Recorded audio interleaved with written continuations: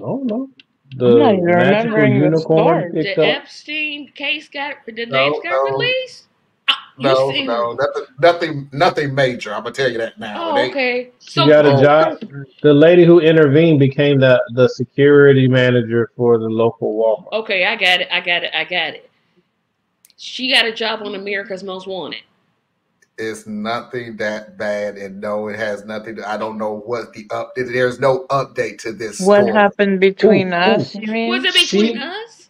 She got cast for the lead role in Psych 2, but this time it's focused on a woman and her best friend instead of a guy and mm-hmm. his best friend. And they go around solving crimes because they're ultra observant to the point of No, clairvoyance. bitch, that's wrong. She got she, she got her her four friends bought a Great Dane, bought a van, painted it, called it the Mystery Machine, traveled from place to place and solved mysteries. That's what happened.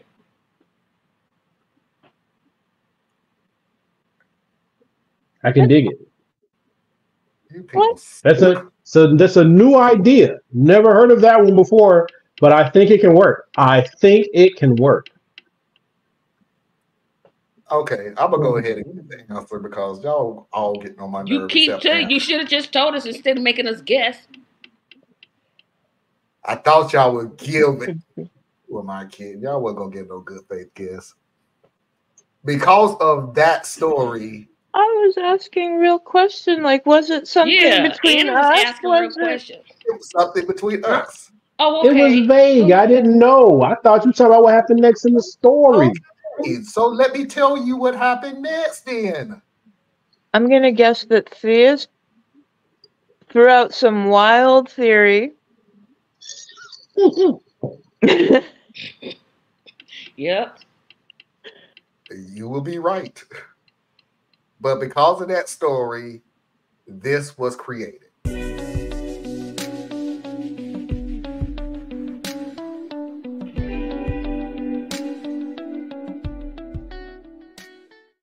In case anybody Uh-oh. don't know, I created Real or Not right after this video because up to the point, this was the third video that everybody on here kept saying, This ain't real. This don't make any sense. This ain't real. So this video was the third video.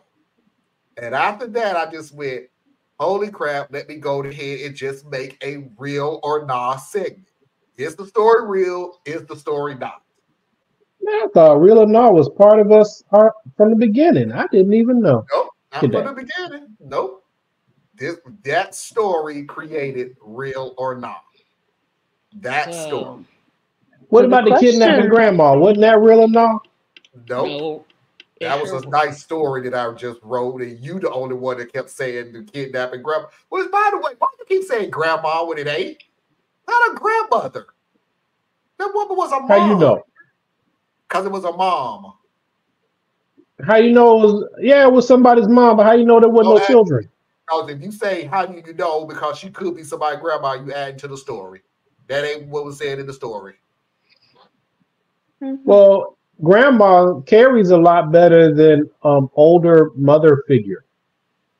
No, that's just more funny to you that she's a kidnapping grandmother, who apparently, by the way, is also a part of a grandmother uh, stalking slash kidnapping ring, along with the woman that was stalking the guy that went to the grocery store and came up and just was Identity nice. theft So- ring.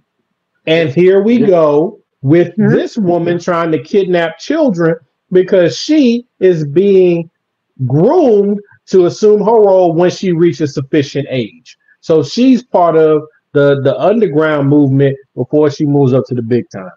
Oh. Because she was really sloppy. That's how she got caught. But if she was actually older, she would have been able to maneuver the system better and this never would have got caught like that.